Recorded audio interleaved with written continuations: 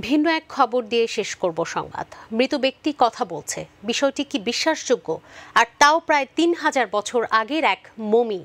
এবার প্রযুক্তির কল্যাণে সেটি তুলে ধরল একদল মমি গবেষক। দেখালেন তার মুখাব- মুখায়ব আর শোনালেন তার সবশেষ উচ্চারিত শব্দটি।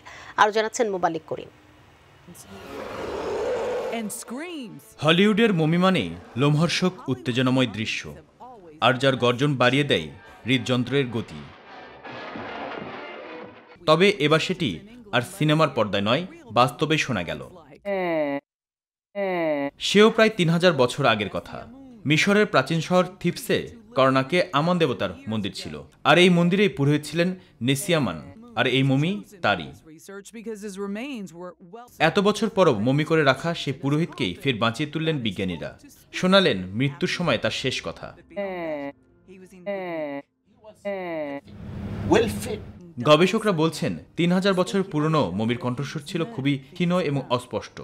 তবে তিনি যে কিছু শব্দ উচ্চারণ করেছেন তা স্পষ্ট শুনেছেন বিজ্ঞানীরা। আর যেসব শব্দ উচ্চারণ করেছিলেন তার অর্থ উদ্ধারের চেষ্টা চলছে। মমিকে কথা বলাতে নানা পরীক্ষা নিরীক্ষার মধ্যে দিয়ে যাওয়া হয়েছে। আর এজন্য three dimension printer vocal box প্রযুক্তি ব্যবহার করা হয়েছে।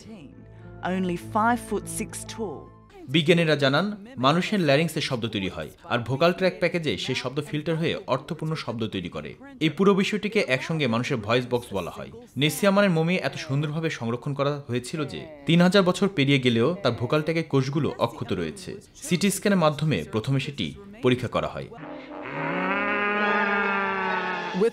তারপর থ্রিডি প্রিন্টারের মাধ্যমে ওই মুমির ভোকাল ট্র্যাকের কপি করে ল্যারিংসে কৃত্রিমভাবে তার কণ্ঠস্বর তৈরি করেন বিজ্ঞানীরা।